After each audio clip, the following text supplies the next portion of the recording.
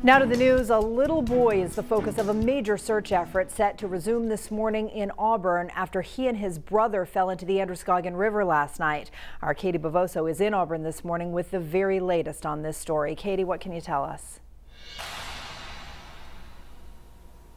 Sharon, this is every parent's worst fear and the kind of news that sends shockwaves through a community. Early last evening, two young boys fell into the Androscoggin River behind me. This morning, one of them is in the hospital. His little brother is still unaccounted for.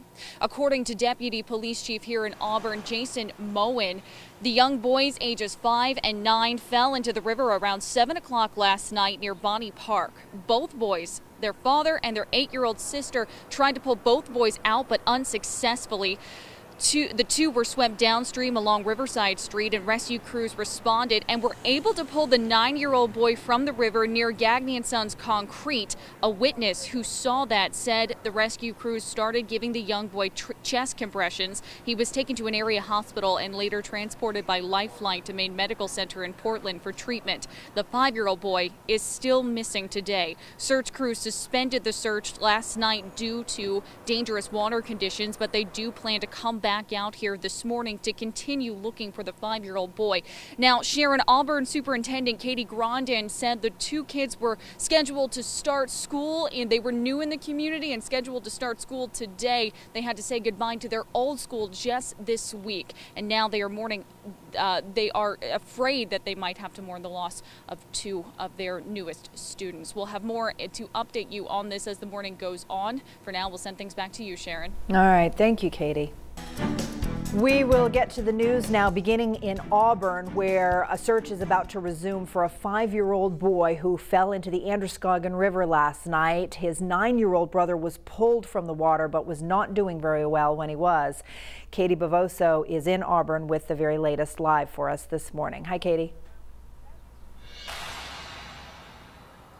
Good morning, Sharon. This is every parent's worst fear and, of course, something that stuns the community. Last night, two boys fell into the Androscoggin River. This morning, as you can see behind me, search crews have returned to the scene here in Auburn to continue to search for one of those boys, the younger one, as his brother is struggling for life in the hospital this morning. According to Auburn Deputy Police Chief Jason Moen, two young boys ages 5 and 9 fell into the river around 7 o'clock last night near Bonney Park. The two are brothers, and their father and eight year old sister tried to successfully, unsuccessfully, I should say, to pull them out of the water. The two were swept downstream along Riverside Street.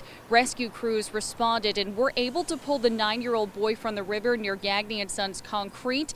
A witness said she saw rescuers giving that nine year old boy chest compressions when they pulled him from the water. He was taken to an area hospital and later transported by life flight to Maine Medical Center in Portland for treatment.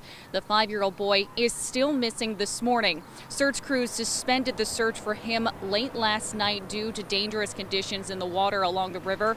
This morning, as you can see, they are back to continue the search effort. Now, Auburn Superintendent Katie Grondin says that the two boys were scheduled to start school today. They had just said goodbye to their old school and their classmates this week. Now they are all preparing for what comes next. Sharon, I'll send things back to you. All right, Katie, thank you very much. To the news now, a little boy is at the center of a big search effort continuing today in the Auburn area after he and his brother fell into the Androscoggin River last evening. Our Katie Bavoso is live in Auburn this morning following the situation. Good morning, Katie.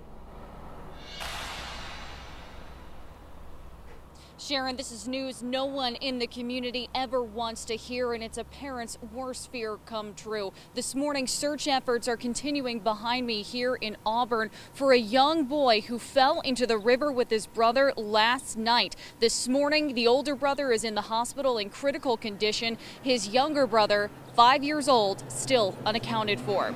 According to the deputy police chief here in Auburn, Jason Moen, two young boys ages five and nine fell into the river around 7 o'clock last night near Bonney Park. Both boys their father and their younger sister tried to pull both boys out of the water but were unsuccessful. The two were swept downstream just over a mile. Rescue crews responded and were able to pull the nine year old boy from the river near Gagne and Sons Concrete. A witness said she saw rescuers giving the boy chest compressions when they pulled him from the water. He was taken to Central Maine Medical Center in Lewiston and later transported by life flight to Maine Medical Center in Portland, where our media partners at the Portland Press Herald report that he is in critical condition. His five year old brother is still missing. Search crews suspended the search for him late last night due to hazardous conditions. They are back on the scene today to continue the search for that five year old boy now that the sun is up.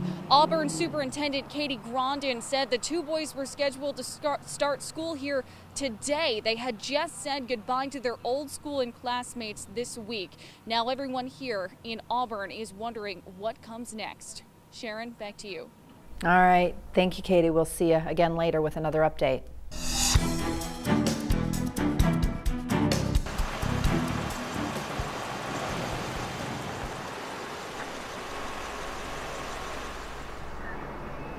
A chaotic scene in Auburn last night as two young boys fell into the Androscoggin River. This morning, a major search effort is underway.